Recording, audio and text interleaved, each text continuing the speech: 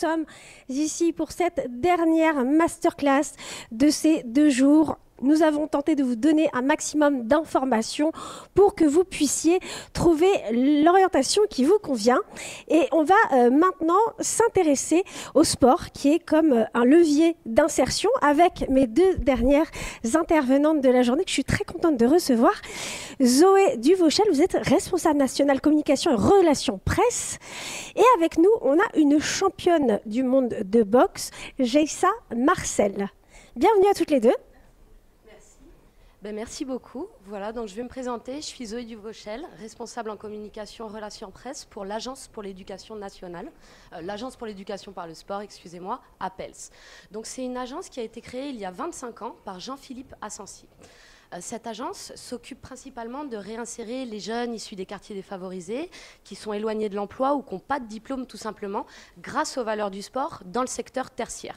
Donc quand j'appelle, quand je dis secteur tertiaire, ça va être par exemple des métiers pour devenir conseiller bancaire, pour devenir agent d'accueil au ministère de l'économie. Voilà, ces différents postes avec un CDI à la clé. Je reviendrai tout à l'heure sur nos parcours phares et je vais laisser Jessa Marcel donc se présenter. Elle est actuellement coach d'insertion à l'agence et également sportive de haut niveau en lice pour les Jeux Olympiques 2024 en boxe. Bonjour à tous. Euh, du coup, comme elle vous a dit, je suis Jessa Marcel, coach d'insertion par le sport depuis le mois de novembre 2021 au sein de l'APES, l'Agence pour l'éducation par le sport, et aussi boxeuse professionnelle euh, depuis l'âge de mes 11 ans. Donc ça fait à peu près 12 ans que j'en pratique. Et du coup, voilà. C'est la première fois que vous veniez au Parc des Princes? Ouais. C'est une première fois. Et c'est, c'est la première fois que vous participez au salon Your Future? Aussi. Ok, ça vous plaît? Oui. Super. Et eh bien encore bienvenue à toutes les deux. Alors lors de cette masterclass, nous allons essayer de comprendre les enjeux autour de l'inclusion des jeunes par le sport. En quoi, pour vous, le sport peut aider les jeunes à s'épanouir dans le monde professionnel et à ouvrir de nouvelles portes? Alors c'est simple, on a un slogan, c'est le sport comme diplôme, parce qu'à l'heure actuelle, le sport apporte certaines valeurs. Des valeurs comme la détermination, comme l'esprit d'équipe, comme la communication tout simplement.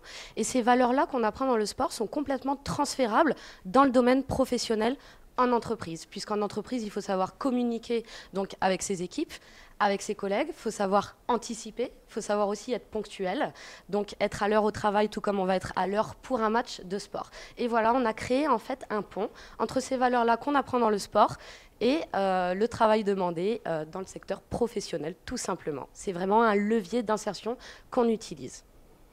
Alors, on l'a évoqué, hein, c'est l'année des Jeux olympiques, euh, tout le monde en parle aujourd'hui, mais est-ce que vous pouvez revenir sur les valeurs de l'olympisme? Alors pour moi, en tant que sportif de haut niveau, les valeurs de l'olympisme, pardon, c'est tout d'abord le respect, le partage et la détermination, parce que euh, pendant cette période euh, olympique, on partage, tous le même, euh, le même moment. Tous les sports seront groupés, du coup, on est tous ensemble en train de, de, regarder bah, le sport qu'on aime, tout simplement. Jaisa, j'ose vous poser la question euh, qui me paraît importante. Est-ce qu'aujourd'hui, ces valeurs d'humanisme et d'inclusion sont toujours aussi présentes dans le sport? Bah ouais, parce qu'en fait, notre rôle en tant que sportif de haut niveau, je le répète, c'est de justement casser ces codes-là, euh, surtout en banlieue parisienne. On est hmm. souvent confronté à des euh, préjugés sexistes. Moi, je l'ai reçu énormément de préjugés comme Ouais, t'as pas besoin de faire de la boxe, t'es une fille, c'est un sport de mec. Pourquoi en fait? Tout simplement aussi, euh, tu viens de banlieue, tu viens des quartiers, donc euh, tu vas pas forcément réussir. Mais en fait, non, les talents, ils viennent de la, banlieue. Donc c'est à nous de prouver justement le contraire. Certaines séquences sportives importantes, dans la Coupe du Monde de foot, dans le rugby, etc., semblent être des moments de partage et de promotion de vivre ensemble, quelles que soient les origines ou milieux, comme on l'a évoqué, milieux sociaux des gens. Est-ce que vous partagez ce constat? On partage complètement ce constat pour euh, le vivre systématiquement. Hein. Jessa reviendra dessus après, elle, par rapport à son ressenti en tant que sportive de haut niveau.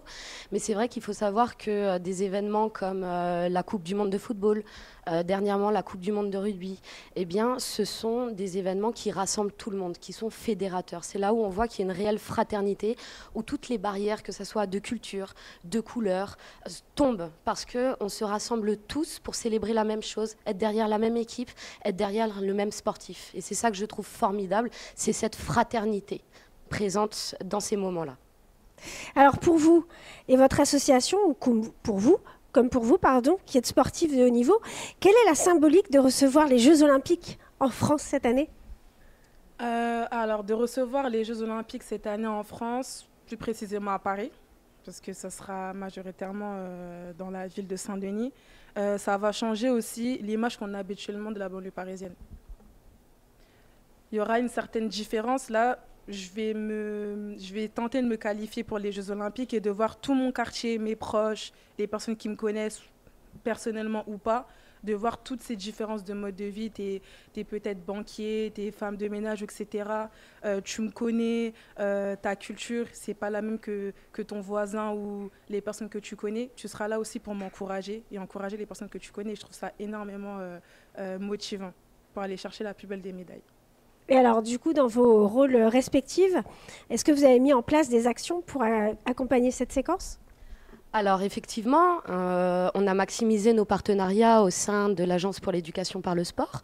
On a euh, fait davantage de parcours d'inclusion, mais on a surtout mis en place ce qui s'appelle les trophées de l'inclusion par le sport en partenariat avec le Fonds d'action de l'équipe.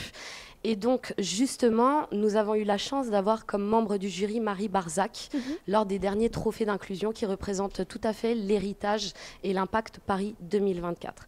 Donc voilà un peu nos actions. Et puis c'est vrai que euh, dans un monde idéal, ça, serait d'ouvrir une école dans le 93, une école d'inclusion par le sport. Ce serait la plus belle des finalités suite au passage des Jeux olympiques dans notre ville. Super projet. Vous avez quelque chose à rajouter? Ok. Alors, il existe en France pas mal de formations adaptées aux sportifs de haut niveau pour leur permettre de poursuivre leurs études tout en pouvant s'entraîner à haute intensité. Est-ce une réussite selon vous ou des, améliorations pardon, sont-elles possibles? Après, ouais, c'est une, une très bonne réussite, oui, mais après, euh, il y aura toujours des améliorations à faire. Je vais vous raconter un petit peu ma vie. Non, non, bien sûr. Euh, je suis arrivée pendant l'année du bac en faisant. Euh, j'ai eu une grosse hésitation entre soit poursuivre mes études après le bac ou soit me mettre à fond sur la boxe. Du coup, je suis partie euh, voir mon entraîneur de club pour lui demander des conseils de est-ce que c'est mieux que je continue la boxe ou pas? Parce que euh, pour Parcoursup, ils nous demandent les vœux. Je ne sais pas si on vous, on vous demande actuellement. Et je ne vais pas citer l'école où j'ai postulé. Ils m'ont refusé. Pourquoi?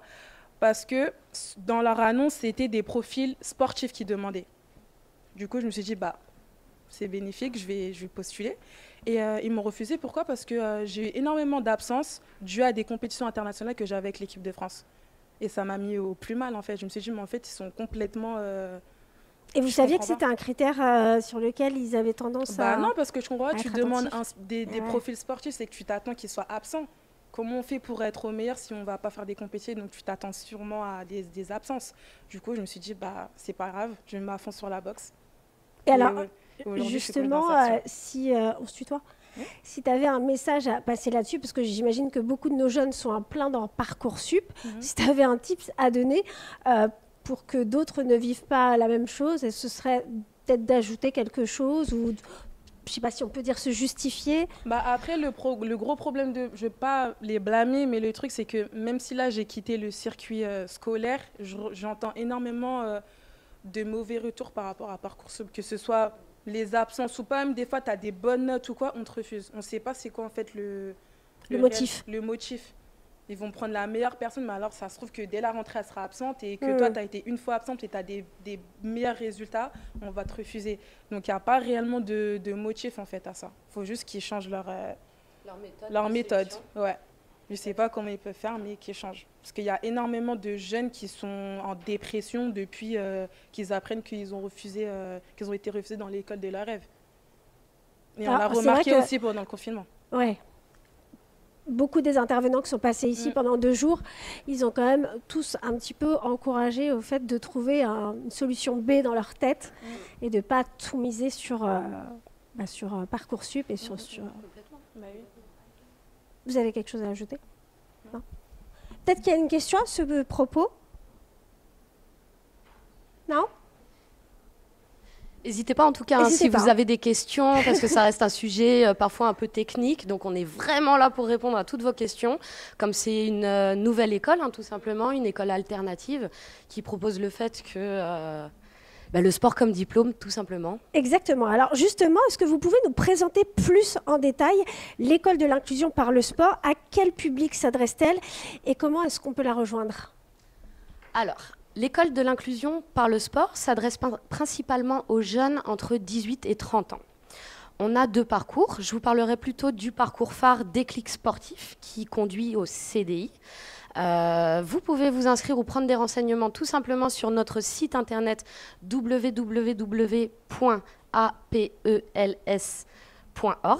Donc n'hésitez pas à nous poser toutes vos questions ou même à échanger avec nous à l'issue de masterclass, on sera vraiment là. Il faut savoir que nous avons lancé les écoles de l'inclusion par le sport parce que pour nous, c'était important d'avoir un lieu tout simplement de rassemblement pour nos jeunes, qui puissent avoir leur salle de formation au sein même de, euh, de l'endroit où ils allaient pratiquer le sport. Pour nous, c'est un vivier aussi de, rencontres, d'échanges avec le coach. Parce qu'il faut savoir que le coach qui va accompagner ces jeunes-là fait de l'accompagnement H24, 7 jours sur 7. Dès lors où vous intégrez une entreprise, dès que vous signez votre CDI, le coach sera toujours là pour vous accompagner, pour répondre à vos questions. S'il y a un litige avec l'entreprise ou autre avec votre employeur, il sera toujours là vous. Donc voilà, c'est un peu ça la différence. Et c'est vrai que pour nous, c'était important de créer un vivier, un lieu de rassemblement. On a lancé notre première école de l'inclusion donc à Garges-les-Gonesse, grâce à un maire qui nous soutient énormément, Benoît Jiménez. Il fait un travail formidable, hein, vraiment, sur euh, toute la région Île-de-France. Je tenais vraiment à le saluer aujourd'hui. On a monté une seconde école de l'inclusion donc dans les Hauts-de-France à Roubaix. Et puis c'est vrai qu'après, on rayonne vraiment sur tout le territoire national. Donc on va autant être présent du côté de Marseille que du côté de Lyon, qu'en Normandie. On fait également euh, des actions aussi euh, à La Réunion. Donc voilà, on essaye vraiment de se développer au maximum. On a également des parcours de sensibilisation hors les murs du côté de Bordeaux, de Montpellier. Super. Voilà.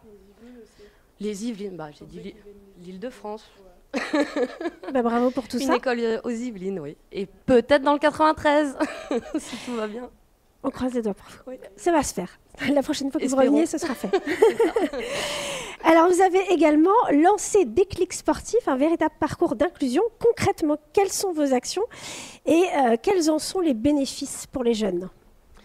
Alors, Déclic sportif, c'est notre parcours phare, effectivement. Donc c'est une demande qui va venir de l'entreprise, parce qu'on apporte également une solution de recrutement.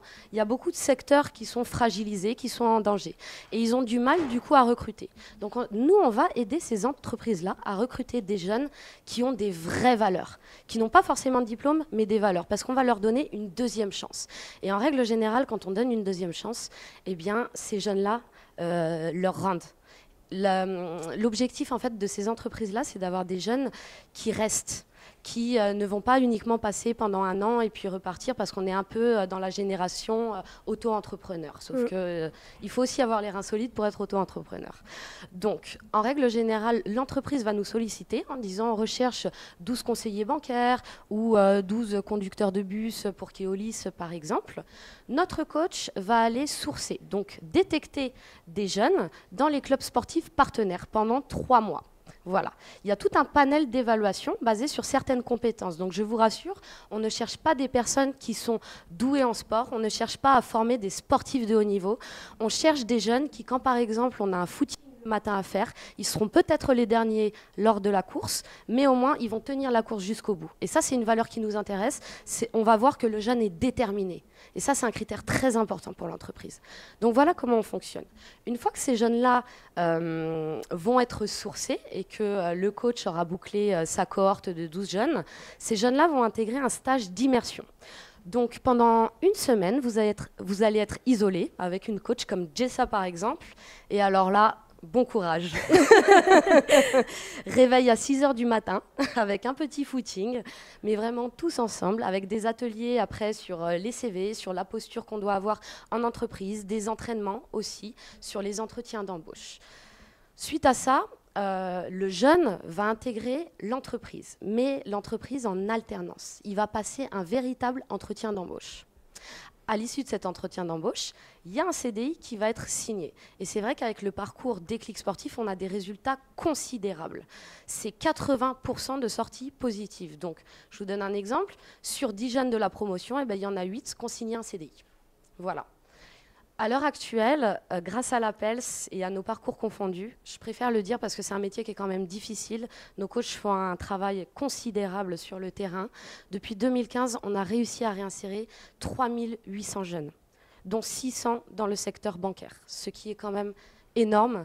Donc je tiens à les féliciter. Je tiens à féliciter Jessa aussi qui, qui est là. Voilà, et qui peut peut-être vous parler un peu plus amplement de la pédagogie que euh, elle adapte au cours de ces séances de sport parce qu'on fait des séances bien particulières. Alors, pour revenir à ce qu'elle disait, en fait, le but, c'est pas d'être euh, des sportifs de haut niveau ou d'être des compétiteurs ou quoi.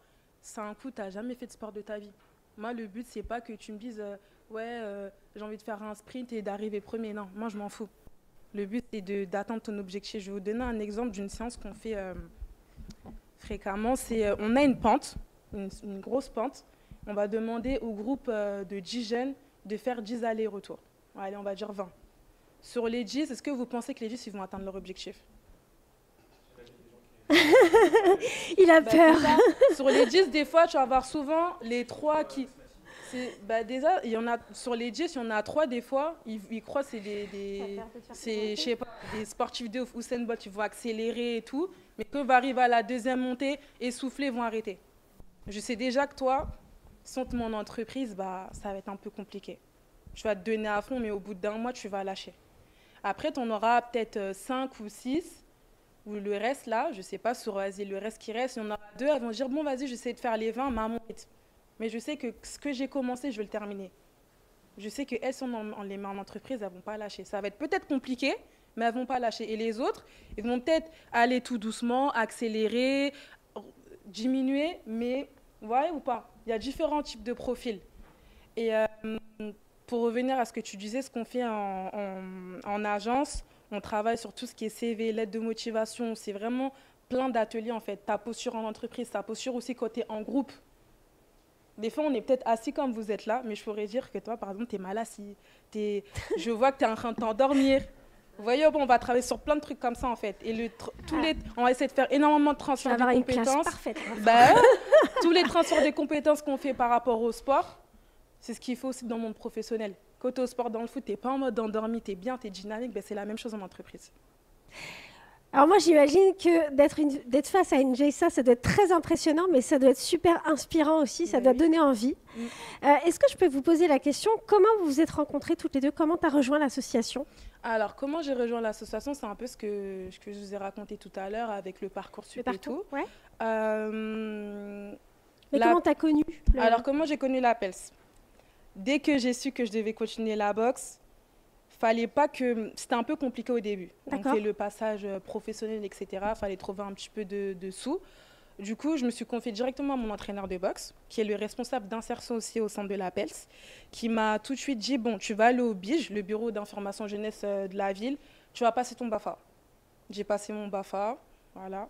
Donc, tu as, euh, été accompagnée par la Voilà, j'ai été accompagnée. Donc là, on est vraiment dans le parcours déclic. Moi, tout simple. Hein. J'étais euh, jeune comme vous. Je savais pas quoi faire de ma vie après le bac. Et j'ai été une jeune de l'APELS. Qui a été donc accompagnée Voilà, j'ai été accompagnée par euh, mon coach qui est aussi l'entraîneur du club en fait. Ok. à ce moment-là, il était vraiment coach. Du coup, il m'a dit, bon, je te conseille d'aller passer ton BAFA. Dès que j'ai passé mon BAFA, je me suis dit, bon, là, je suis à pied, je prends tous les jours le bus. Je pense qu'avec les sous de l'animation, je vais me payer le code, le permis, etc. J'ai passé mon permis, mais je savais très bien que je n'allais pas finir animatrice. Donc après, j'ai passé euh, le prévôt fédéral. C'est le diplôme d'État pour être entraîneur de boxe. Je l'ai passé à l'INSEP. Et maintenant, je fais un petit peu des coachings les, week-ends. Et depuis le mois de novembre 2021, il m'a dit, vas-y, viens avec la PELS. Je lui ai dit pourquoi. Il m'a dit parce que je sens que tu peux insérer des jeunes. Ils peuvent s'inspirer de ton parcours. Et voilà. Et alors, comme de nombreuses disciplines olympiques, les sportifs de haut niveau ont souvent beaucoup de difficultés, il faut le dire, à trouver des financements. Comment ça se passe au quotidien pour vous? Est-ce que vous êtes obligé d'avoir un emploi euh, alimentaire pour subvenir à vos besoins? Après, je dirais pas un emploi alimentaire parce que c'est ce que j'aime en fait. Ce que je fais au quotidien, c'est ce que j'aime. Je relie ma passion et mon travail qui est aussi d'insérer les jeunes, comme je disais. Et euh, j'ai de la chance d'être accompagnée par la PELS et quelques sponsors Sombre, Naes et euh, l'équipage PMA. Donc ça va, c'est plutôt que. Super. Zoé, euh, il y a une actualité, importante pour l'APELS, c'est le lancement du Centre national de l'inclusion par le sport qui va former des coachs d'insertion par le sport.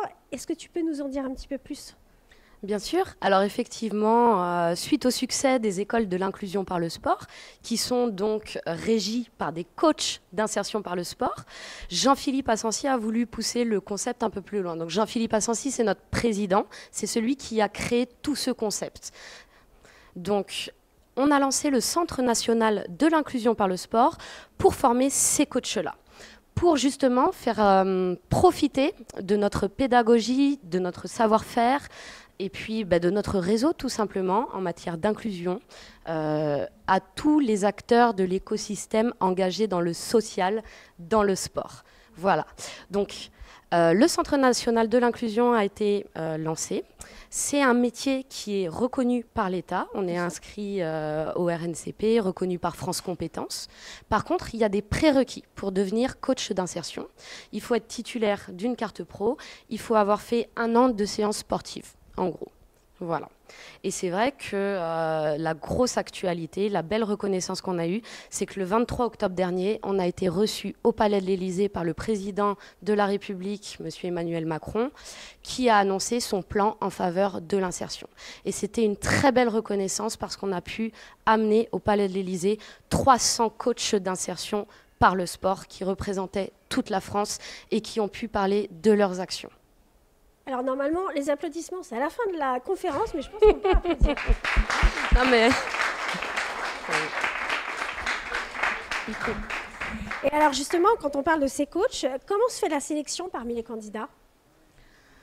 Alors, la sélection, elle va être vraiment déjà sur euh, le diplôme, sur euh, aussi les motivations du coach, tout simplement, sur son parcours, son profil et sur son réseau. Parce que pour être coach d'inclusion par le sport, il faut aussi avoir un réseau. Un réseau qui permet de connecter le jeune euh, avec différentes personnes, en fait, tout simplement parce que le coach va devoir anticiper, il va, il va devoir avoir certaines valeurs, les vraies valeurs du sport, hein, pas les valeurs qui sont à la mode, tout simplement. Mais vos valeurs à vous aussi sont importantes, j'imagine. Nos valeurs à nous, effectivement, hein, comme on le disait, euh, Jessa, elle est sportive de haut niveau, elle cherche euh, des médailles au plus haut sommet, mais derrière, elle me dit toujours que pour elle, sa plus belle médaille, c'est le jeune qu'elle a réussi à insérer et que c'est sa plus grande fierté à l'heure actuelle et que ça vaut toutes les médailles du monde. Ça dégage une énergie. Et je trouve ça incroyable. Et je trouve ça vraiment incroyable. Voilà. Un petit mot également pour euh, les entreprises présentes sur ce salon Your Future. Est-ce qu'elles peuvent également vous aider d'une manière ou d'une autre en devenant, euh, je ne sais pas, partenaire par exemple? Alors effectivement, les entreprises peuvent nous aider en devenant mécènes, tout simplement, ou alors en nous sollicitant par rapport à cette méthode de recrutement qui est innovante, euh, puisqu'on apporte certaines solutions euh, au niveau des ressources humaines, tout simplement. C'est vrai que nos parcours permettent euh, de gagner en coûts, en coûts financiers, plutôt que de passer par des boîtes de recrutement classiques. Elles peuvent également nous aider en nous versant la taxe d'apprentissage. Donc je parle de la taxe d'apprentissage parce qu'effectivement, on rentre dans le fléchage. Donc si éventuellement elles veulent s'engager pour l'inclusion, pour l'avenir des jeunes, eh bien, fléchez-nous sur votre taxe d'apprentissage, tout simplement. le message est passé. Euh, avant de terminer cette masterclass, est-ce que vous avez des questions dans la salle? Profitez-en. Vous êtes Ils sont en train de s'endormir, hein, discrètement, non? Il y en a qui sont impressionnés. Je ne suis pas sûre que ce soit super timide. Oui, est-ce que oui? Concrètement, euh, moi je ne connaissais pas avant de venir, donc je découvre là actuellement. Euh, d'ailleurs, je suis aussi dans le 95, je suis loin de Garges Euh, concrètement, si par exemple je serais intéressé pour potentiellement intégrer aussi l'équipe ou devenir potentiellement coach d'insertion, comment ça se passe pour moi qui n'ai aucune compétence dans ce domaine et concrètement en termes de formation, comment vous allez nous accompagner après sur le terrain pour quelqu'un qui n'a rien Enfin, euh, pas de compétences dans ce domaine précisément. Quoi. Voilà. Bah, éventuellement, là, l'avantage, c'est que Jessa est là. Ce qui va se passer, c'est que tout simplement, on va faire un échange de coordonnées. Après, comme je le disais, toutes les informations sont aussi disponibles sur notre site internet. Après, on va fixer un rendez-vous, par exemple, directement à notre école pour pouvoir un peu rencontrer euh, le coach, le responsable de l'école, pour pouvoir discuter, cibler un peu votre projet. Si par exemple vous souhaitez intégrer un parcours jeune ou si vous allez être plutôt sur la formation coach. Après, pour être coach, je précise que c'est un diplôme qui est complémentaire. Donc, il faut vraiment être titulaire de la carte pro. Mais par contre, euh, pour un parcours jeune, il n'y a aucun problème. On va vous présenter effectivement bah, les différentes promotions qu'on va avoir au cours de l'année.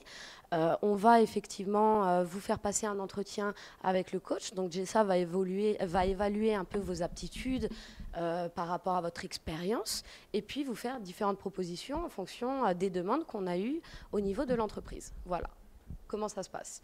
Mais, mais le mieux, c'est que ben, juste après, on échange et puis euh, que vous nous posiez toutes les questions aussi et que vous passiez à l'école, à Garges-les-Gonesse. En plus, on a de très beaux locaux qu'on inaugure incessamment sous peu, juste en face de la gare. Voilà. on change enfant de local. merci. Les filles, vous êtes toutes les deux hyper inspirantes. Euh, moi, j'ai, enfin voilà, j'adore vous écouter. Vous dégagez une énergie qui est juste incroyable. Si vous aviez un dernier message, euh, en tout cas un dernier pour ici, à adresser aux personnes dans la salle ou aux personnes qui nous suivent, pour ces jeunes qui ont peut-être un petit peu de mal à trouver un emploi, qui galèrent à trouver une alternance, qu'est-ce que vous aimeriez leur dire? Alors, le plus simple, c'est, euh, imaginons, tu es dans une tout à l'heure, il y a un jeune qui m'a dit je suis en, je suis en filière vente, mais j'aimerais mettre dans, la, tout ce qui est carrosserie, mécanique. Je lui ai dit mais pourquoi tu es dans la vente? Il m'a dit je sais pas, euh, je voulais avoir le bac plus simplement. Le truc, en fait, va directement dans un truc que tu kiffes. C'est sûr que tu vas accrocher. Va, te mettre, va pas te mettre dans un pétrin où tu vas te gratter la tête au bout de 6 mois, 7 mois. Allez toujours dans un truc où vous allez vous dire c'est ça que je kiffe. Tous les matins, je me lève parce que c'est ça que j'ai envie de faire de ma vie tu sais, tu t'endors, tu es satisfait de ta journée. Tu es satisfait de, ce que tu as, as, atteint comme objectif dans la journée. Donc franchement, vous entourez-vous de bonnes personnes, surtout. Faites le tri, les mauvaises ondes, dégagez les, les mauvaises personnes. Entourez-vous de bonnes personnes. Croyez en vous, surtout, et en vos rêves. Zoé?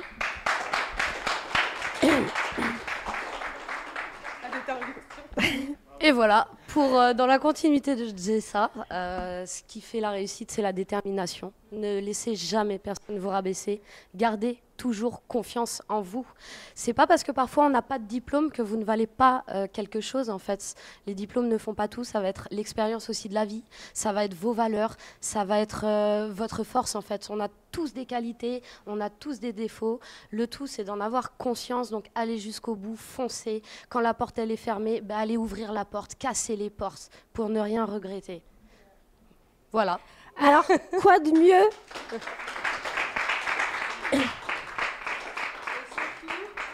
Surtout, la plupart, je pense que vous venez tous de banlieues parisiennes.